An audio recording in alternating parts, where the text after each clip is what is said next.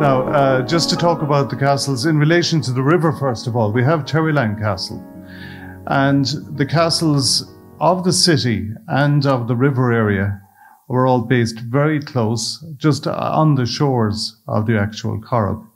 Now, the Corrib really is divided between the Galway River. The Galway River extends from the Mud Dock and right up along Walk and then up as far as the Fisheries Tower and a little bit beyond that, beyond the Wolf Tone Bridge. Then it becomes the Corrib after the Queen's Gap. The Queen's Gap is an area of the river.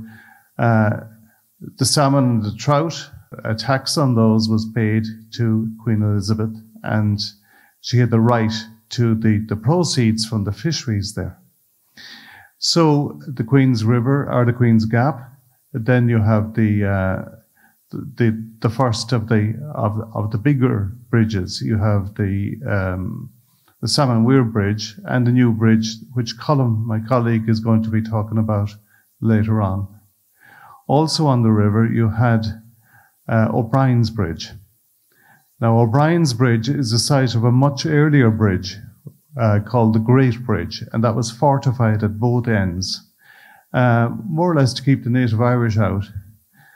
And uh, even in the 17th century, it was refortified and bastions were put at either end. And if you ever get into the basement of the Galway Arms pub there, for instance, part of the bastion, uh, which defended the Great Bridge, is uh, was excavated there. Now, all of these bridges are visible on the pictorial map. One of the other uh, the pictorial map is normally dated to the 1650s, but it, it actually probably dates to the 1660s, and it, it gives a bird's eye view of the city. By the 19th century, several more bridges were added, and in the exhibition that you see around the walls, which Colm O'Riordan has put up, you'll see down at the corner, you'll see some of the waterways of Galway as they were uh, between the 1820s and the 1840s. And, uh, you know, many of these were built in um, very short time, and they're part of the industrial heritage and the archaeology of the city. And right beside Terryland Castle, for instance, we have the old Terryland Waterworks, uh, which was built in 1895 on the site of an earlier building.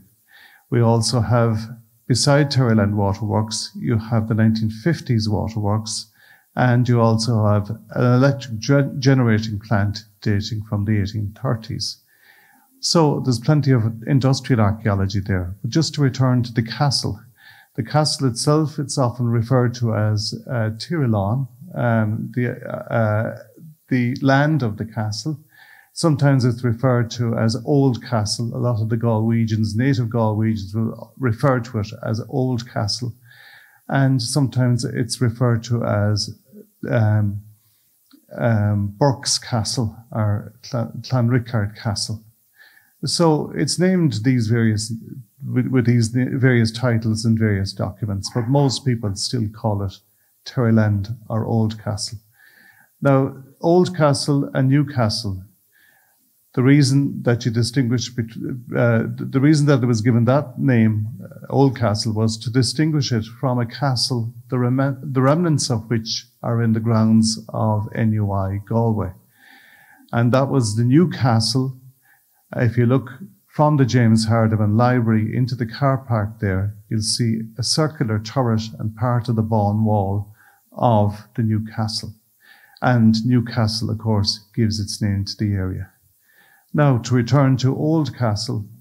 Old Castle, as you see it now, is a 17th century building, but there's a hillock quite close to it at the back where you see the curve of the river. And on that hillock, we believe there is the earlier Tower House.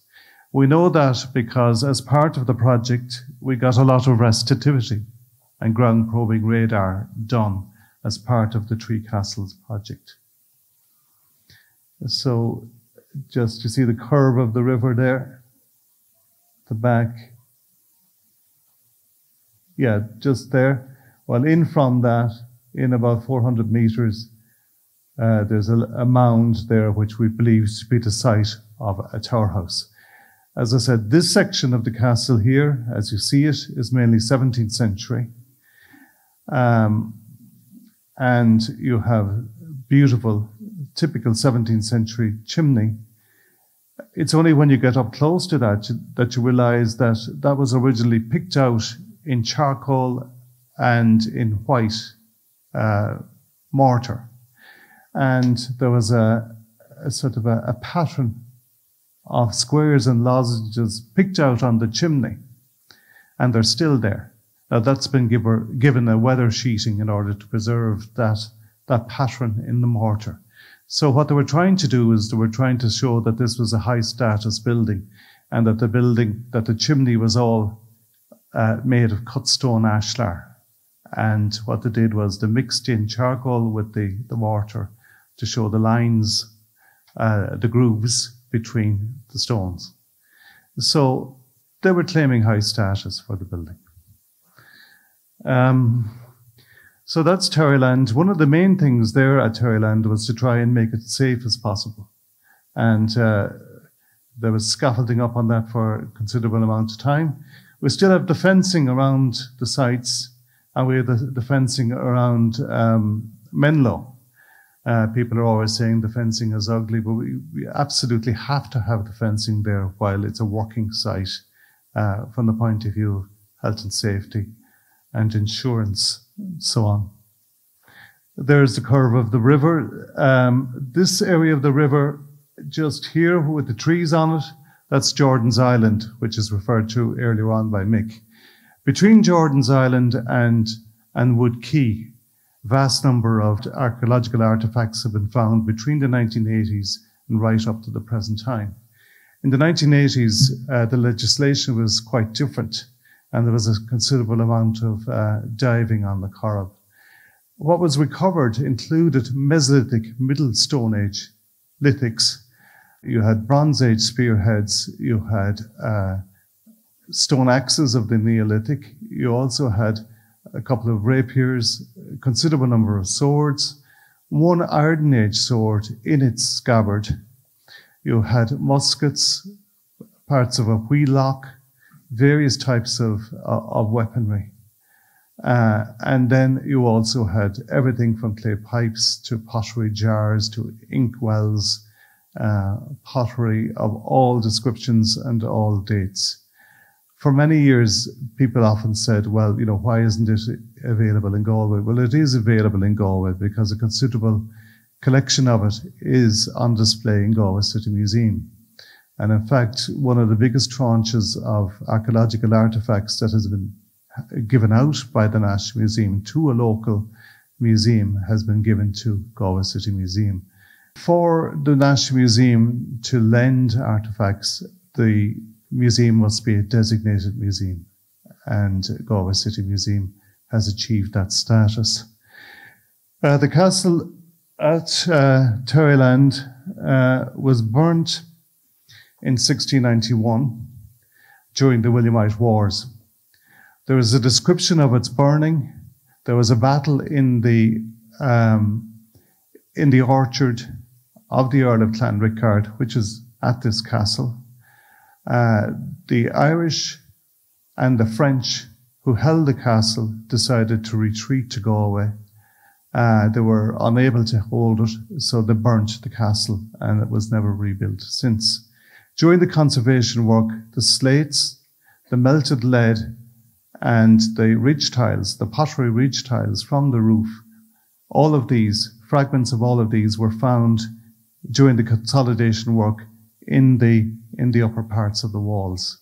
So there's quite a lot of evidence of, of the burning of it. And there was also things like lead cames, uh, cames which held little diamond shaped pieces of glass and these would have been housed in the in the windows that you see there. There, uh, these are the typical 17th century hood molded windows, and they would have had mullions running through them, and a casement and diamond sheets of glass in in those held within the lid. This is Menlo Castle, and uh, it needs quite a considerable amount of consolidation. Menlo Castle is of many phases. You have a 15th century phase, 15th or early 16th century tower house. You have a big 17th century long house attached to it. Then in the 18th century, there were various modifications and a little uh, turret was added at one, a belvedere, an ornamental uh, belvedere was added. And in the 19th century, numerous other changes took place as well. Now, we know a considerable amount about the history of Menlo Castle because one of the people who lived there was Martin J. Blake, and he published uh, a whole series of papers on the Blake family records, and he published two volumes of the Blake family records uh, in the early 1900s. Uh, what you see there is uh, a little bartizan machicolation, really, and in the machicolation you have very flat red brick, probably some of the among the earliest brick used in Ireland. Uh, sometimes it was used in bake ovens from around the um, from the 16th century onwards. Uh, then you had large houses, Jigginstown House, whatever, built completely of bricks. Um, this section uh, seems to date to around 1610 or 1616, and the bricks were used ornamentally. And they would have contrasted the very orangey red colour of the bricks would have contrasted against the mortar, and the mortar would have been uh, a bright white render. Um, so that's the front view, the main, the main view of the house. So you have your big 17th century ornamental. They're not really crenellations in the sense that they're not military. They're more ornamental than that. You get these sort of things uh, at Portumna Castle and many other 17th century houses in Ireland. There would have been a rim of moulded stone around these, and we hope that during the conservation work, when we sort through the stone, uh, that we'll be able to find those and, and put them back. Um, as I said, the house was burnt in 1910 in a, in a tragic fire. One of the Blakes died in the fire, and there's an obelisk erected to uh, the woman in the grounds of the castle, although none of her remains were actually discovered. Um, so it was lived in uh, until 1910. One of the servants who jumped from the, the castle died, and another servant survived I went on to Menlo Park, where an awful of the people from Menlo Village went to in America. And it, it's famous now for high tech and so on, but Menlo Park is the place, one of the places that they went to.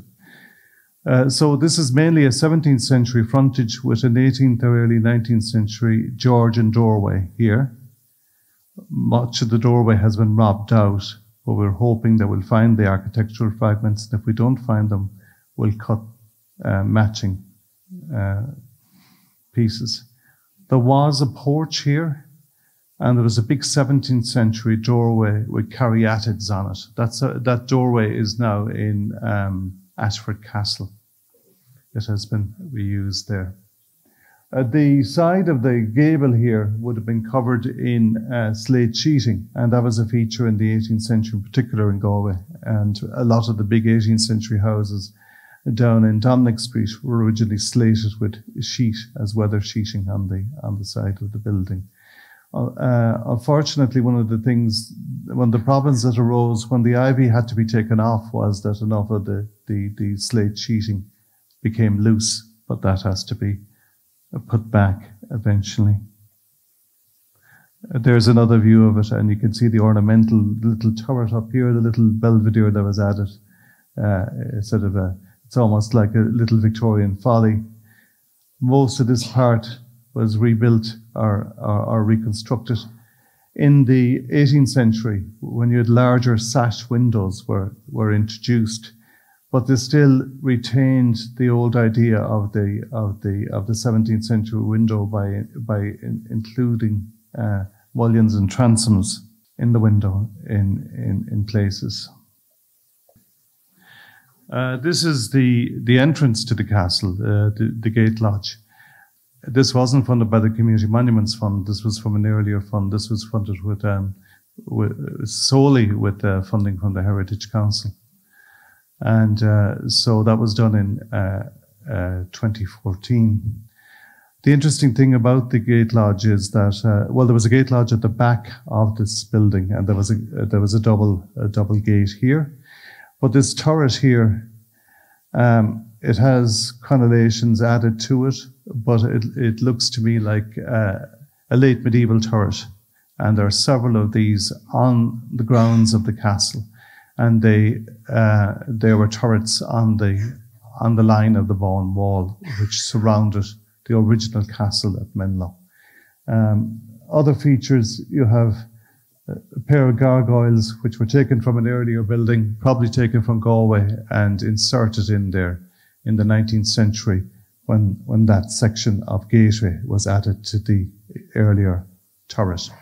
Uh, an interesting fact about the gargoyles is the gargoyles are commonest in Galway than anywhere else in the country. You have the biggest number of gargoyles in Galway city than you have anywhere in Ireland.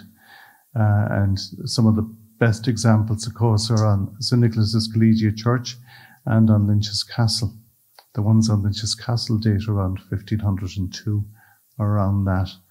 Uh, the ones on uh, St. Nicholas's Church are, are, are, 16th century that belong to an extension onto the south aisle of the church.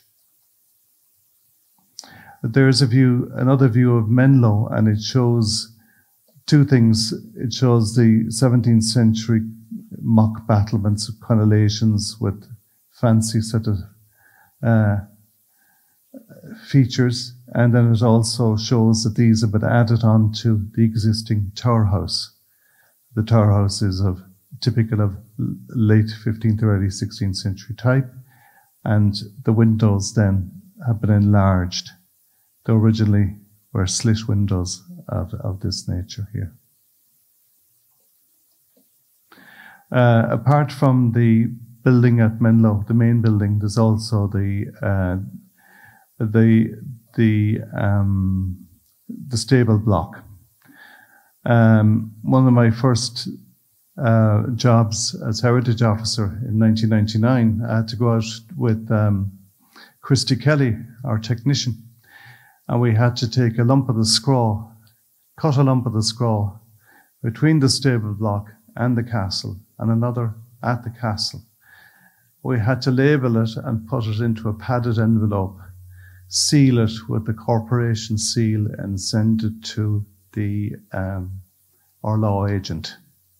We were taking official uh, possession of Menlo Castle.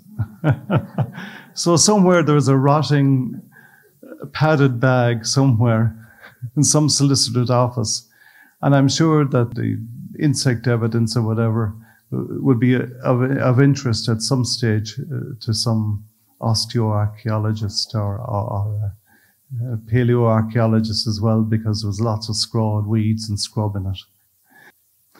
This is the tower house at Doughiska, and this is some of the conservation work that was done.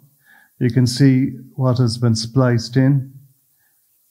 You can see that the mullions were missing, but they have been put back in. There's the tower house at Doughiska. We hope eventually, as part of the scheme, as part of the Three Castles project to put a roof on that. It would be an awful disgrace not to. Entrance to the tower house was by way of what's called, well, there was, first of all, there was a soft house, a building out here. You can see it there. You can see the line of the gable there. But there was also a machicolation here. The machicolation projected out. There's little defensive projection and it projected the, it projected over the doorway. The doorway then has a groove in, the in the edges of it, and that contained what's called a yett. And uh, so, if anybody's trying to get into the castle, it's a way of saying, Not yet! Stand back, identify yourself. What the yett was, was a steel frame, and it was attached to a series of chains, and the chains were went in through holes in the castle wall. Uh, so the yett was a protective frame. Uh, it was like uh, drawn up tight over the doorway. The door itself might have been a couple of inches, uh, six inches of oak.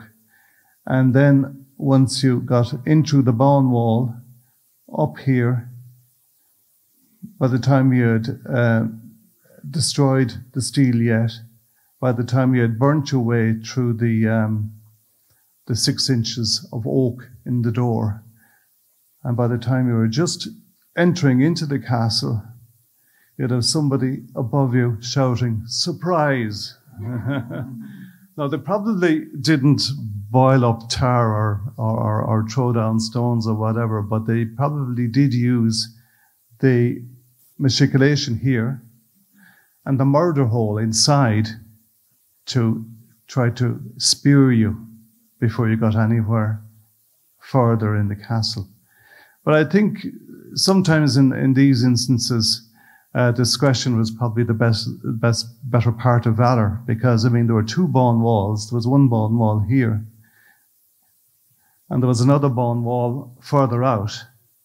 And if they, if they had managed to get through those, you know, I think you'd probably be panicking rather than hanging around to attempt to skewer the, uh, the invader through the, the murder hole. So, um, that's it with the uh, the slides. I just want to give you the background in, in, a way, briefly, very briefly, to how this is all funded. Uh, in 2014, we did a conservation plan for the three castles. Now, conservation plans were originally brought to Ireland. The whole concept was brought from Australia. English Heritage adopted them. Uh, the Heritage Council brought the concept and developed it and paid for an awful lot of the early, um, early plans. And it was it was gradually, it became apparent that it wasn't just a conservation plan that was needed. It was also an awful lot of consultation with everybody interested and involved. So these became conservation and management plans. And as I said, the Heritage Council funded an awful lot of them. An awful lot of them now are being done by individual archaeologists, plus individual conservation architects, plus ecologists, and so on. So a plan had to be drawn up before anything could be done on the castles. We had to ensure that the built cultural and natural heritage of the, the castles was, was preserved, maintained.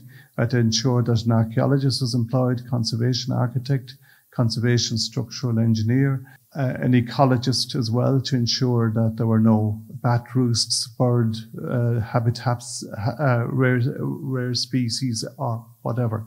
So all that process has to be gone through.